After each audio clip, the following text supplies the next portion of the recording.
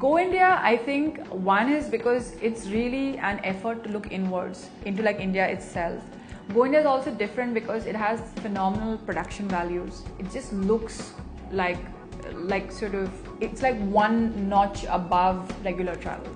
Plus, we've kept the mood very light and fun. You know, so it's a very kind of you know uh, fun trip that you can make into the interiors of Maharashtra and just sort of and also very very educational because there's so many things you don't know about Maharashtra and they're like ah I didn't know this you know so that's that's quite nice. I think traveling around India to certain states is quite okay. I don't think you'll really have a problem. Uh, but I would say certain parts are like best avoidable. I almost got kidnapped in Bandhavgarh. So, I mean, that was crazy. A 30th night, and it was really crazy because. Uh, they had this some local family, some local MP, MLA family goons. You know, so they decided that you know they're going to kind of uh, come and party over there, and they brought their families, their wives, and their, and their children. And then only me and my friend Monique. So at night, the the the older uh, member, male member, shows up with his young nephew, and they wouldn't leave. And then you know and then the never came for sir मैंने आपको कल रात को देखा है लेकिन आज मैं कहता हूँ कि आपसे शादी हो जाएगी तो आपसे शादी हो जाएगी sir I just met you and then and then I said you know and I don't know how to get out of it because the staff was so frightened to tell them anything that they managed So suddenly you have two girls like in the middle of this jungle in the middle of nowhere, and then you have these two guys standing at the door. It was really weird.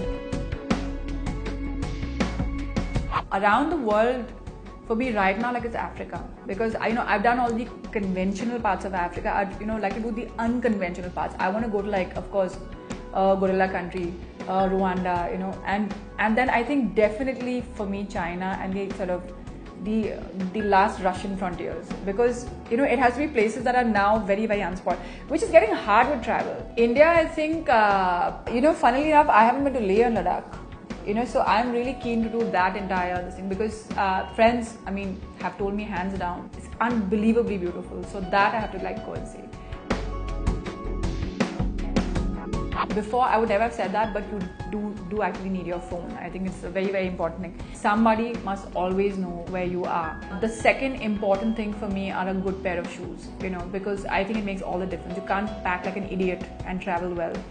Um, you know, third thing I would say is um, definitely. Uh, you know a certain amount of resource like financial resource because that can solve quite a bit of your problems. Uh, fourthly i would say pack like your own specific medical kit. You know like if you have some things that you are specifically allergic to or can't eat or can't do you know just make sure that you carry it because in foreign countries it's very hard to like get into that whole translation field trying to explain to people what's wrong with you. And i know uh, this sounds lame but please carry travel insurance. Most people don't because you never know what's going to hit you. So it's more like you know i would say take stuff that's more precautionary so that you can have a great trip